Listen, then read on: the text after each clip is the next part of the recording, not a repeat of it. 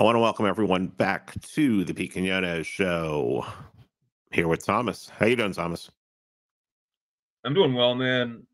What I wanted to emphasize today, I assume people are getting something out of this. Um, I'm not being obtuse. I mean, I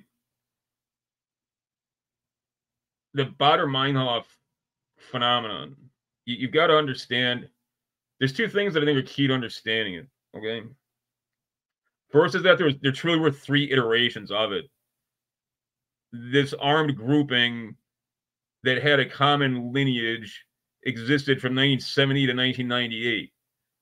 And every five to seven years, because their operators got got got killed, ended up incarcerated or disappeared underground. Some of whom didn't like reemerge for decades, despite being you know hunted by by um by the Bundesrepublik, you know, counter terrorist police and um and the off what they what they euphemistically call the Office of Protection of the Constitution, which is no joke. These people have limitless resources.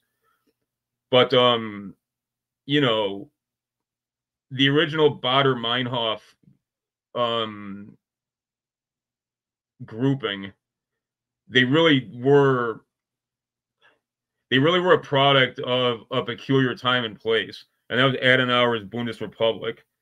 And their parentage um, a lot of these guys' fathers had died in the war or just never come home. You know, there was like lost generation of people, as we'll see, because we're going to get into their biographies. And they had kind of a confused understanding of what they wanted to do. Like Horst Mahler, I maintain, was always something of an ideological pole star for the group. And um, I believe he was always a national socialist he was different than the rest of them and he wasn't a direct action operator. However, by the last iteration of the Rote Army fraction, they were totally indexed with the Stasi and they were basic they were running operations for the DDR. You know, like it had totally changed into something different. You know, um and it had become solidly in the Stalinist Warsaw Pact camp you know, um, which was a huge coup for Markus Wolf and the Minister for Staatssekretariat to be able to do that. In America, you know, the Soviets, true after, after the Comintern was would, like ceased to exist formally. Okay, um, what replaced it was this aggregation above ground, you know, it was Cominform, which was basically uh, kind of like the communist version of the G7, you know, or the Shanghai Cooperation Organization, maybe is more a correct analogy, but you know, the um the the Communist Party of the Soviet Union, um, they had their tentacles in many things, and they were constantly trying to flip leftists in the UK and America like to the Warsaw Pact camp, like away from this schismatic post 68 uh, um, ideology. You know, and um, they had some success with that in the UK, but in America, like it was always hitting the wall. You know, like Gus Hall. Um, I mean, it's an interesting. There were some guys on the right, especially in the earlier phase of the Cold War, um, like James Hartung Madole, who I believe are signaling to some of these Warsaw Pact type uh, agents in America. Their notion being this similar to what Ger- Goebbels' notion of clicking up with the KPD, you know, during like the years of struggle to smash the Social Democrats.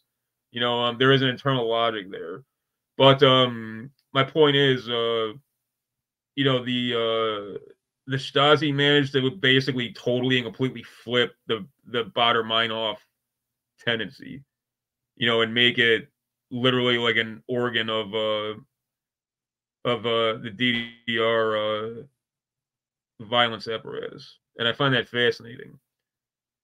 So I wanted to get into the first iteration the first iteration the literal Baader Meinhof faction um, and talk a bit about these personalities that constituted it and what their backgrounds were, because I think that is essentially is essential understanding the German situation and it's essential understanding why these people did what they did. I make the point again and again. You know, zeitgeist is very real. That that's not just some conceptual prejudice I have. Like what is possible in you know, the political realm is its own sphere of activity. Okay, and if you're talking about radical partisan action, like what is going to have resonance, what is going to index with the culture and the historical moment as it then exists, is uh is very historically contingent. You know, um, German young people who wanted to strike out at um, regime authority, really the only way they could conform that tendency was some sort of communism. Okay. Um, Germany had literally literally been annihilated and was partitioned and under hostile occupation to, to prevent a fascistoid tendency from ever reemerging. You know, um, and even those that were emergent, obviously early on, were were uh, were, were entirely adjacent to Soviet Union. You know, not in terms of their deep values or anything, but in terms of you know geostrategic realities as well as you know certain ideological um interdependencies that were just essential in a in a in a bipolar world with a Soviet superpower as um the uh as as as the as the lesser enemy of Europe than the true foe of Europe, which was um America. So I want to get into that a bit. Um the uh the the, the, the Rote Army faction came into existence in May 1970. Um, and it was when uh, as an Andreas Baader was sprung from prison. Baader had been locked up in 1968. Him and his uh, a girlfriend of his at the time, um, he set fire uh, to this department store. You know, to to to, to strike back at capitalism. You know, and he said that he did it um, because the Bundesrepublik there's an apathy about what was happening in Vietnam. You know, and um, it's interesting that at first these guys and ladies were taking their cues very much from kind of like the American radical left. And that's why like Nam was kind of their conceptual focus. That changed very much. And um the uh Palestine very much became their like the Schwerpunkt in their view of of revolutionary activity abroad and kind of like the key battleground against um you know uh the uh the capitalist uh um global structure which uh i think reading between the lines it's pretty clear why that is okay um but in any event you know as of 1968 um Baader was was still very, very, very, very much kind of uh, a rebel without a cause. You know, um, he drew a custodial sentence because Germany was very, very draconian in these days. You know, um, and um, Adenauer, who was kind of hated by both the right and the left, but he was in purely objective terms, he was a pretty remarkable executive you know, and he, he managed to kind of insinuate himself as all things to all people, you know, outside of the outside of the the National Socialist right, what remained of it, and and and the you know the far left, but he he realized a certain kind of conformity had to be imposed.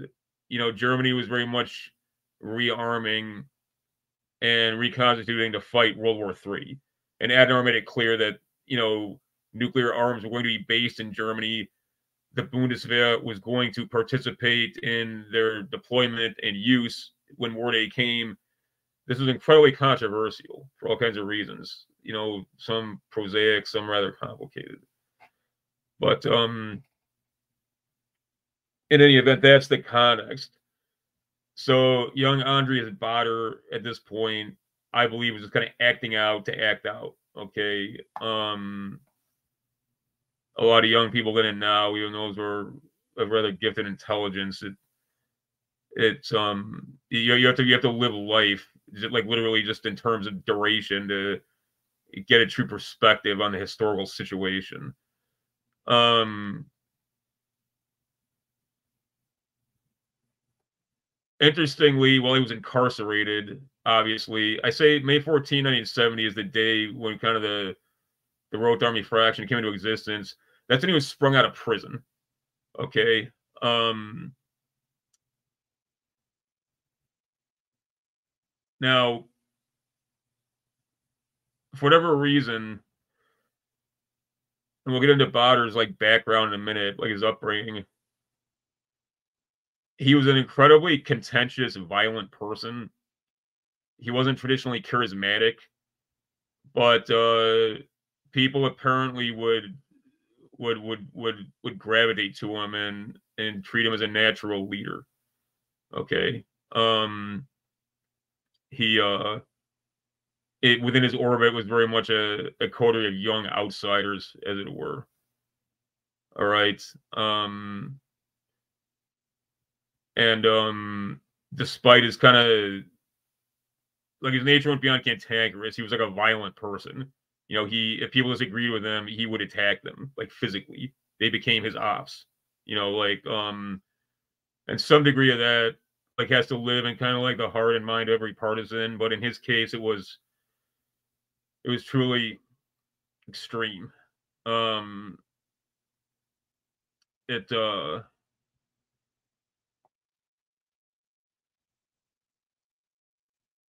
The primary architect of springing him out of prison was uh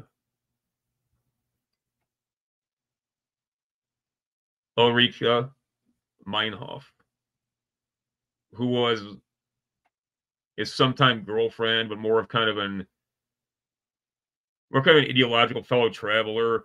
One thing that was unusual about the Baader Meinhof grouping, they always had women with them. Now, at first, it was probably, I mean, not to be crass about it, but they were, you know, because they were young and horny, and like young guys want women around, and vice versa. You know, young women gravitate towards guys in their age grouping. But there was a there was an odd ideological dimension to it too. Like when I say an odd ideological dimension, I mean it was shaped by the conditions of of the immediate post-war years. You know, it wasn't it wasn't it wasn't dummy feminism and dummy feminists don't like lock and load and and and and, start knocking over banks and and springing and springing their people out of prison and and and shooting cops. Okay, obviously, you know, um, this caused some odd challenges for them later, especially as they came to index with Islamic resistance fighters. Obviously, not because it's like Muslims have no problem training women to fight, and they do, but they can't have men and women cohabitating and sleeping in common quarters, and they can't have women in men's barracks and vice versa. We'll get into that later. But um, the one of the reasons in America, at least, the Rote Army faction, I think this kind of fascination developed around them is because there was like these good looking like European broads always like clicked up with them, you know, and um kind of like the Patty Hearst thing. You know, like it people like really like, like Americans are always like really fascinated by like women handling weapons. It was like literally like a quasi like pornographic genre of like of like half naked girls like like ripping rounds through you know like like assault weapons. You know, like it, like like it's a thing. You know, um, and it's I'm not I'm not being some like corny academic to say it's like obviously like very sexual. You know, like it's this this should be clear to anybody. But um, you know, um, Andreas Baader, he gets sprung um from this high security prison. um, you know, by um, by um, you know, a masked man and these two young women, um, you know, and um, as uh the police opened fire on um on Andreas Baader, he leaped out a window, like literally, you know, like it's um, it's um, and um, you know they uh, their uh, their their, their wheelman uh was able to snag him street side, you know, and get away, you know, like this kind of thing just didn't. This kind of thing just didn't happen in, you know, in like in post-war Germany. You know, Germany's a very orderly place you know, that's not just a cliche. You know, um during uh during the struggle, um Ulrike Meinhof, who'd uh disguise herself with um like this long like like like wig like one of the police who tried to grab her by the hair like snatched his wig off you know, revealing that she had like, you know, like a military style, like blonde haircut. You know, and there was some confusion as to whether she was like a man or a woman too, like an initial identification. You know, so this was a very this was a crazy situation. You know. Um and um this made uh this didn't just make this didn't just make you know, national headlines in the Bundesrepublik, but it was something like the police weren't prepared to deal with this. Like as we'll get into, the police had agents insinuated into all the major trade unions, and especially for some reason, like the transportation and, and like railroad workers union was shot through with communists, like pro Warsaw Pact, you know, like Marxist Leninists. So they viewed them as their ops, okay, like the police did like these kinds of crazy guys who are getting like sprung out of out of the joint, you know, by gun-toting females, you know, and um are are are, are pulling off, you know, wild operations. At least if, if to that point, not particularly organized or well thought out. You know, like they're, they're firebombing department stores and you know, sloganeering um revolutionary stuff. You know, this um they just weren't prepared for it. You know, like it was an issue of first impression. And it wasn't traditional, it wasn't traditional street volatility of the kind that Europe's used to. You know, like something very like almost kind of like American about that. You know, those kinds of those kinds of outlaw actions. You know. Um so who who was Andreas Baader Andreas Baader was born in 1943 in May. He was born in Munich. His father was a historian and archivist and um like a real intellectual. Um he'd been conscripted into the Wehrmacht, you know, like like all able-bodied men. He was taken prisoner by the by the Russians in 45 and just was never seen again. He just never came home. You know, and Baader's mother never remarried. So Andreas Baader, as a boy, he lived with his widowed mom, you know, uh, who kind of, you know, continued to pine for that someday, you know, dad was going to come home. You know, a grandmother, um, and like various, you know, aunts and uncles, but he, he basically lived in this like female household without a father, you know, and there were there was millions of men who just never came home, you know, because and and hundreds of thousands where their fate was unknown. You know, they were either um they were taken prisoner and died in some gulag. You know, they they were cut to pieces, you know, at small arms fire and died in the snow. And during you know the desperate retreat, they they were their body was never recovered or identified. You know, so it's um I'm telling you that that impacted the perspective of these boys when they became, you know, young men you know, this like generation of fatherless boys who grew up in this authoritarian society, yet that didn't really index with them culturally.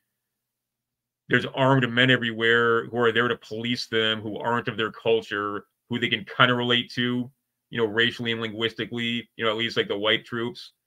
You know, that this had to be an incredibly confusing situation. You know, um, and pretty much without exception, the early Baader Meinhof grouping, they they all had some kind of background like this. You know, um, the, well, nobody uh, nobody thinks of West Germany, what is what what was to be called West Germany, as actually being under occupation. They saw West Germany as the free democracy, Western democracy, as opposed to East Germany. Which is crazy too, because uh, yeah, no, you're absolutely right. You know, like if you look at just um you know, West Germany, like a, a quarter of Germany was, you know, the DDR, historical Germany.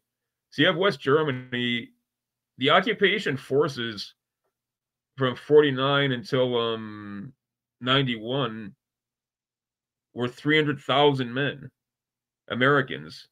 Another there's a quarter million contingent of British, French, and Benelux troops too. Half a million men in a country smaller than Wyoming you know, um, armed to the teeth, you know, um, ready for war at a moment's notice. You know, and at at checkpoint Charlie, you know, it was things were fairly civilized, but when you went to the true like inner German border, like my dad told me, and this tracks with what William Odom said, and with what you know enlisted men who served there said, it felt like a war. You know, they were getting buzzed constantly by DDR aircraft. Um, sappers would uh would would screw with um the concertina wire and like probe their uh you know the the hardness of their of their fixed defenses. This was not remotely normal, you know, and so and on top of that, like I said, basically, you know, Germany lost uh, five and a half million men. You know, there was the country was full of like little kids, like old people and women, and and, and like nobody had a father.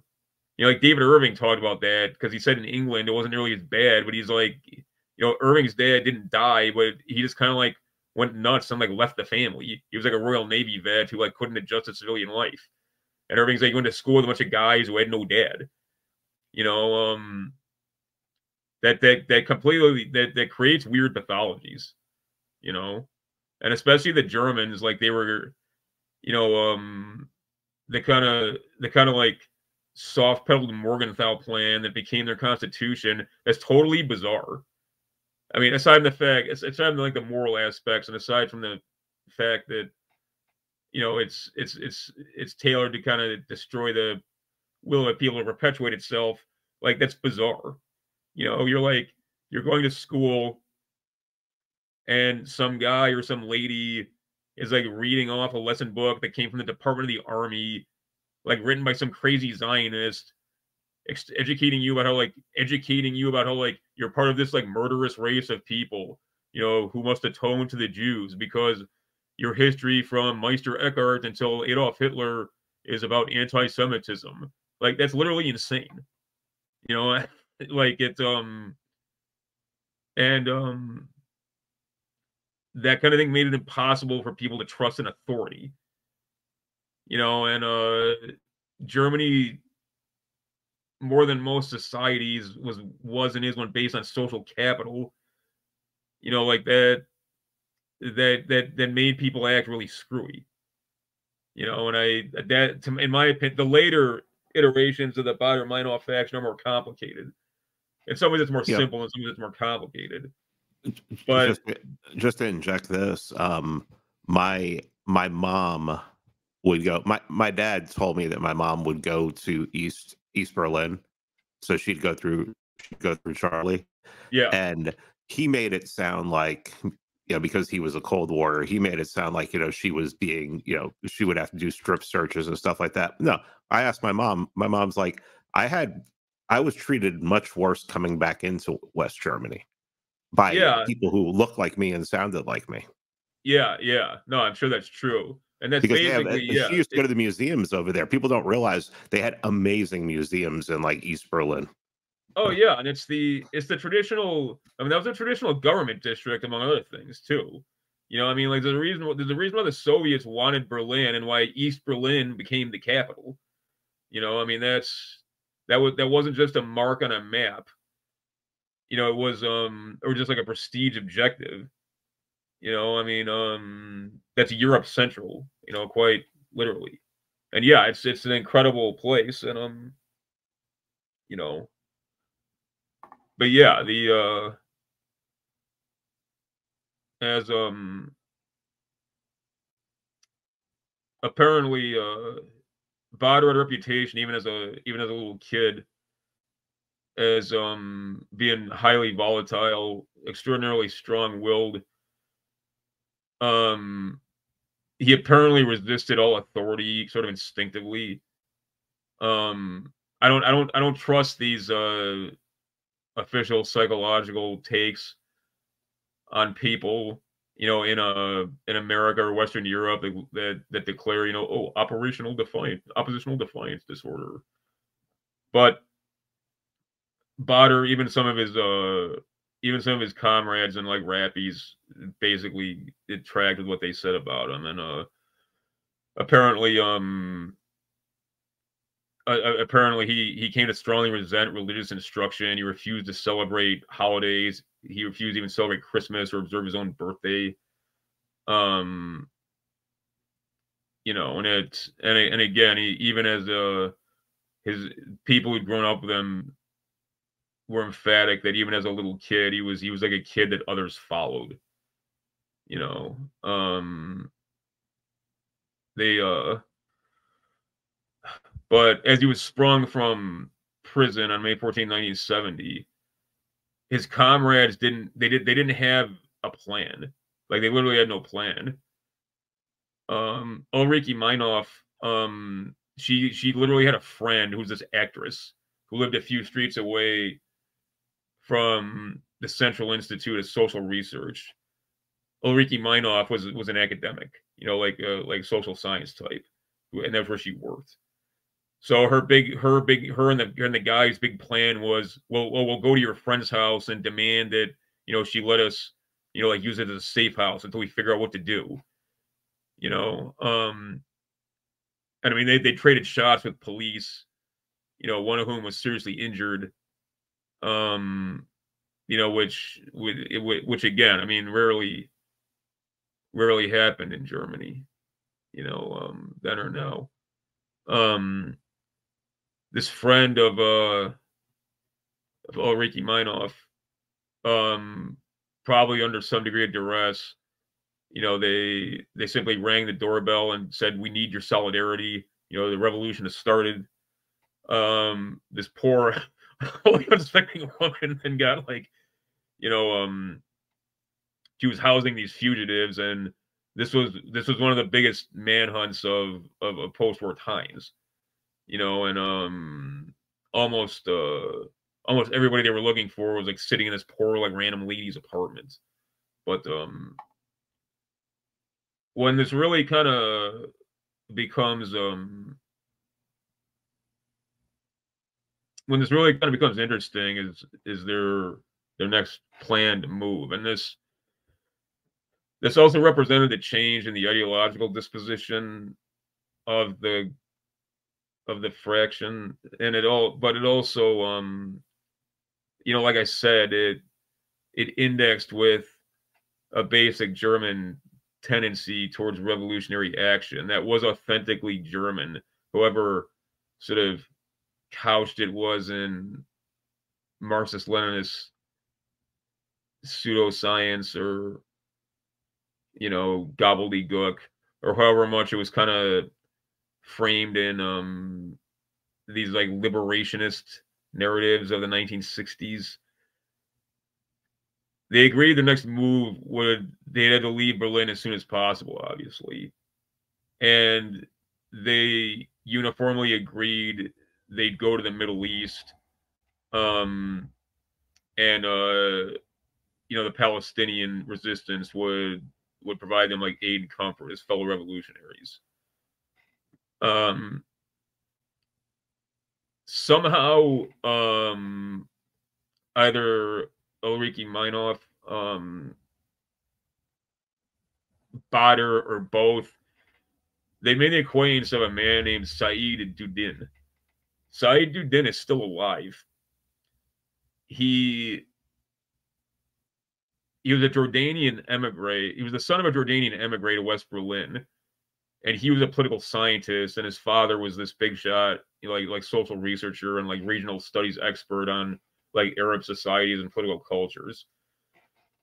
Dudin has never been convicted of a crime, although he's been hassled by the police, you know, over decades for various reasons. Um, Said Dudin contacted uh, his people in Jordan.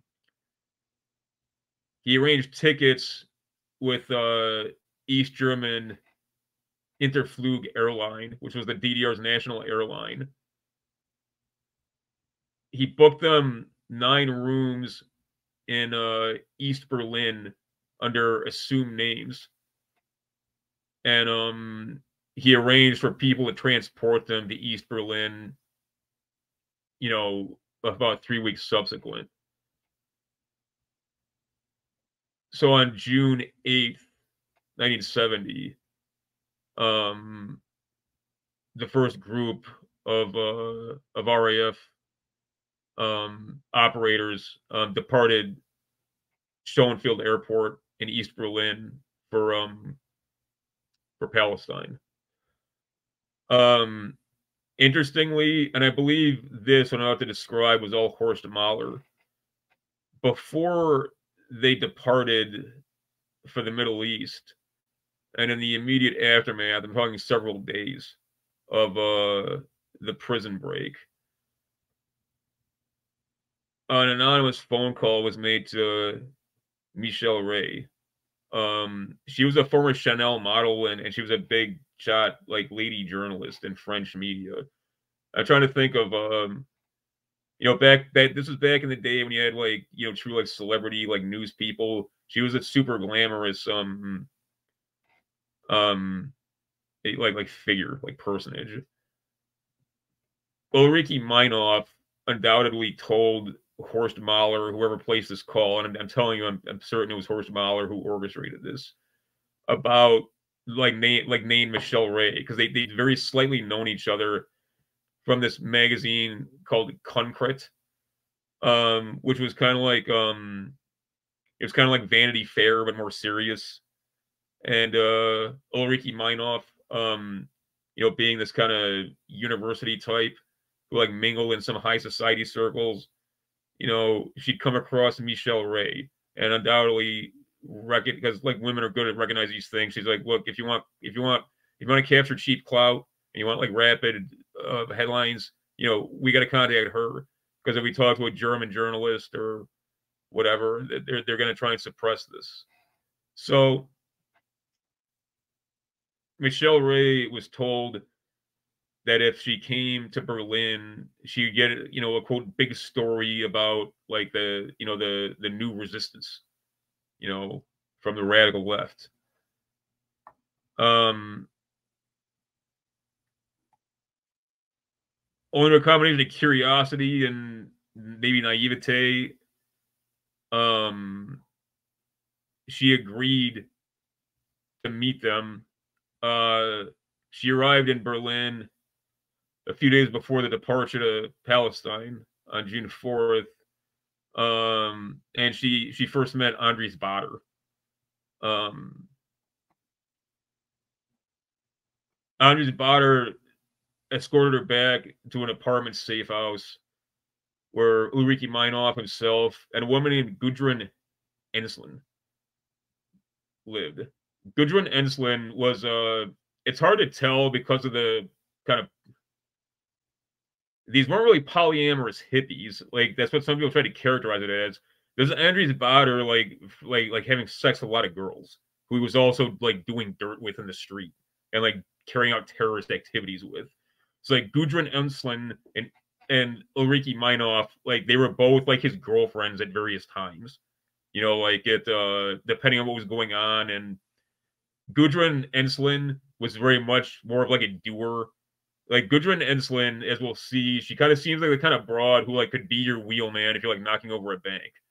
Like Ulrike Meinhof was definitely down. I mean, she handled a gun to help spring Baader, but she was very much kind of like a public intellectual type who could do things like getting this French glamorous news lady to show up.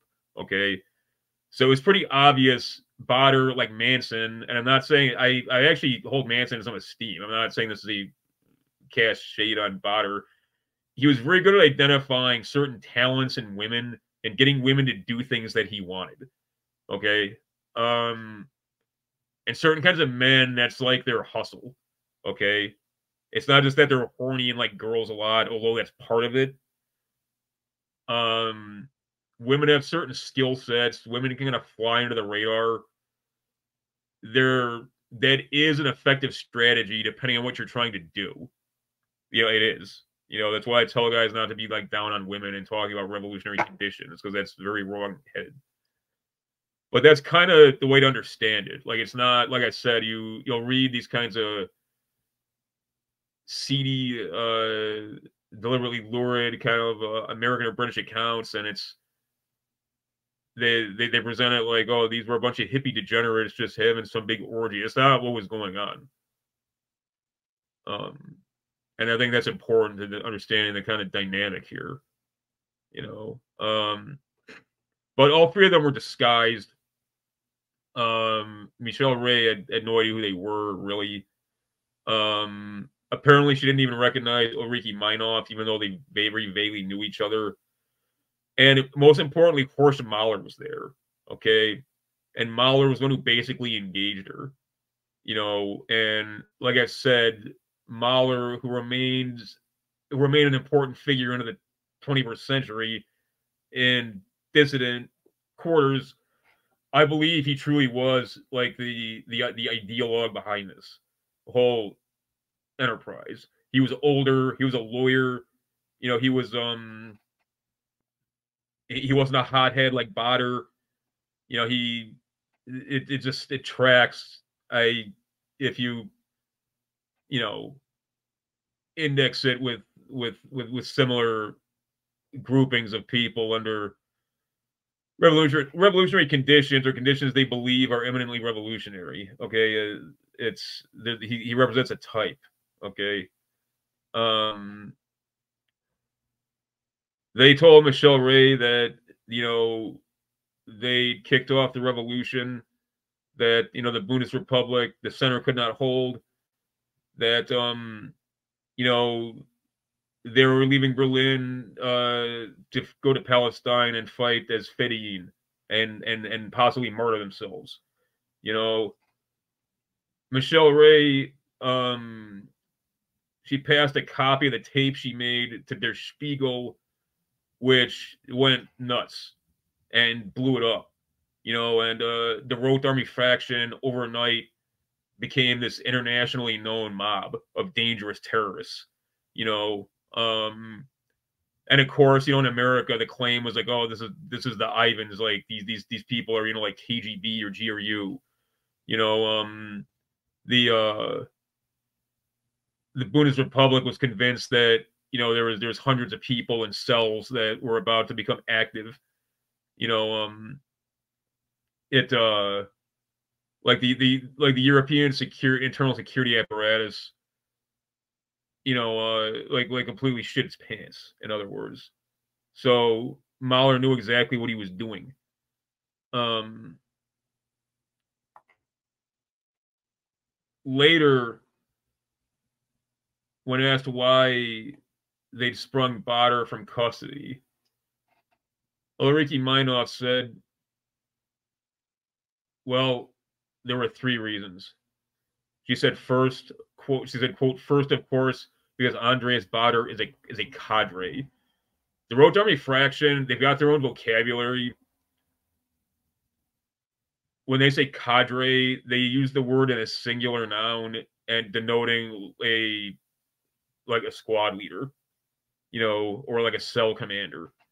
you know, or or like platoon leader, you know, and that's also why up until 98 when they ceased operations they'd always they'd always name like the action group that was engaged you know after either somebody who was uh, either, either somebody who'd been like deceased in action or somebody who was imprisoned you know like from their organization.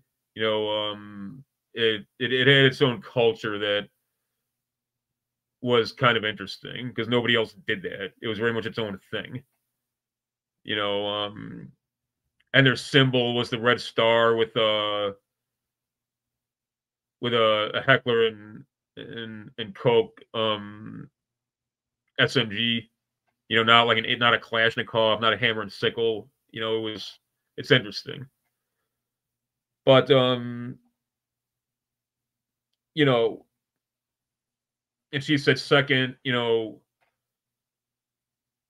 We we we had, we had she said we freed a prisoner you know his identity being incidental because you know the people we, we need to show people what politics is all about today. And politics politics today is about smashing the ability of the state to to impose coercive measures okay and if that if that means killing policemen you know extreme and deranged that might sound that people need to get habituated to that you know and, and you can only habituate people to that by by by doing it over and over and over again until it becomes normal Okay.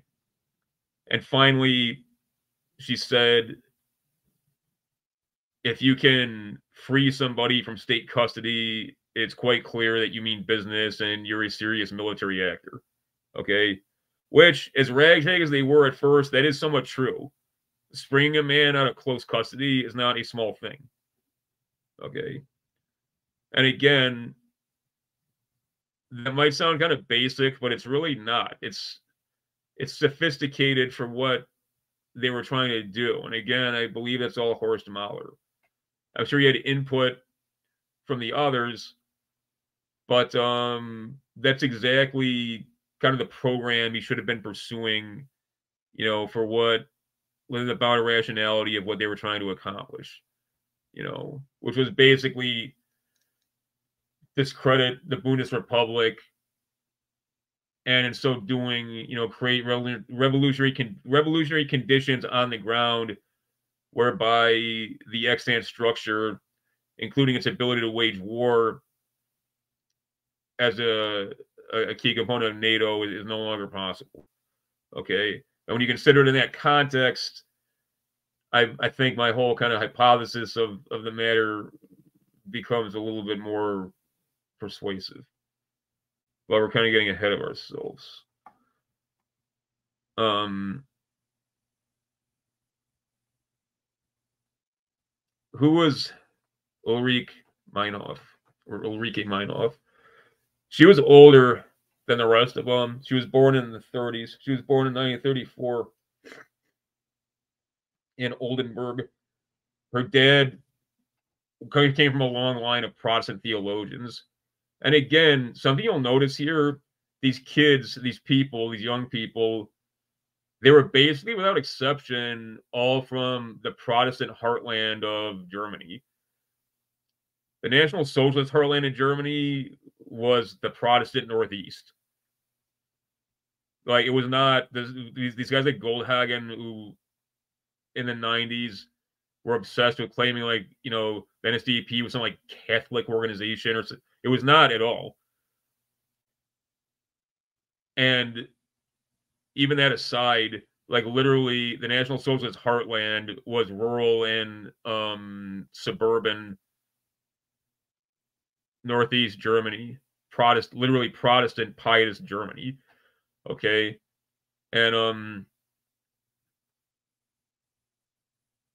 especially um especially this first uh, iteration, you know, this this kind of deeply felt Protestant pietism was uh, like an essential part of their upbringing, as well as other strange things. Now, Ulrike Meinhof also grew up without a father, basically. Um, her father died when she was very young of, of pancreatic cancer. Um, her dad had been curator of the Jena Museum, which was prestigious but not well paid. Um, so when he died, uh, Ulrike's mother and um, her and her sister were in somewhat dire straits. Um, you know, she was at five and a half years old. You know, she no longer had a father in the picture. Her mother, and it's not clear. Her mother took to having boarders live in the house, you know, to for money, and um, this uh young woman from the university moved in named uh, Renata Riemeck. And it's not people obviously today would, would would speculate or that uh Ulrike's mother and Renata Riemeck were you know were like lesbians. I don't think that's necessarily like necessarily the case at all. But they ended up like moving in together and like raising the girls together. You know, so um Ulrike lived in this kind of heavily like Protestant household with no father, you know, just like her male counterparts. You know, raised by these two kind of somewhat, you know, kind but kind of dour Protestant women. Um, she she her primary school was an all girls school run by like nuns. So this is this is again this is a totally abnormal environment. You know like an environment devoid of kind of like normal male authority figures you know? Um that's that's not accidental. I don't think. Um it uh Renata Riemeck, after Ulrike's mom died when she was a teenager, kind of became her surrogate mom and she she convinced Ulrike to join the Social Democrats. And at this time, Willy Brandt, Willy Brandt later became the mayor of West Berlin, and West Berlin was really kind of like a culture unto itself in all kinds of ways. You know, it wasn't like the rest of the Bundesrepublik, but Willy Brandt, he um a conciliatory posture with the East and with the Soviet Union was his big kind of policy coup he became consular. He went down in flames. His constant companion and personal assistant, Gunther Guillaume, who was a Wehrmacht veteran who became a Stasi agent, deep cover agent. Gunther Guillaume stole the uh, NATO nuclear codes from uh, the secured location in um in uh in, in, in the consular's private safe. And I mean this was um the uh it, it's it was report like William Odom said like we we never like we meaning military intelligence never recovered from that intelligence breach. You know they're like the Warsaw Pact just had our number after that. In terms of uh you know the uh our, our, our ideas on strategic escalation and everything else. You know, so but Billy Brandt at this time was like it was like a rising star. You know, and so Renata Riemeck and and and young uh Ulrike Meinhof, you know, joined the Social Democrats and you know all all kind of like progressive people at that time. You know, they they they opposed Adenauer. You know, who who who, who the Social Democrats was you know a a fascistoid um represent a fascistoid resurgence, you know. Um, Ulrike became insinuated into academia because of Renata Riemeck, who was a professor at the Velberg Institute, like Educational Institute. Okay, and this was more so than America, especially you know, Germans kind of like invented the public education system. You found a lot of radicals, especially female radicals, who came out of this academic culture, including Honecker's wife. Okay. Um, that's why, like I said, I I think very much had uh Ulrike um Meinhof not clicked up with Andreas Baader, she probably would have been some like SPD organizer who, you know, like married some guy who was, you know, some kind of like milk toast, you know, social democrat. You know, I uh I I really believe that, you know. Um but she did have, you know, it was her uh her her it, it was it was her kind of respectability that uh, allowed them to index with media. You know, again, she was the one who identified, you know, Michelle Ray as the journalist they should seek out. You know, this this was an essential part of their of the propaganda aspect of the campaign. Um, now, who was Gudrun Ensslin? Gudrun Ensslin was Swabian. She grew up in a village called Bartholomä, which was which was not and is not in the Protestant heartland we talked about a minute ago, but her father was literally a Protestant minister. Okay. Her folks uh, had uh, been big in the von der Wandervogel movement when in like the you know the, the pre-national socialist days and a little bit beyond. Um, this, this this was kind of like a naturalist movement. You know, von der Wandervogel means like migrating birds. Um, it was very it was very much part of like the folkish culture. Okay. Um, in 1958, Gudrun visited the USA, where she learned to speak English. She was an exchange student for a year.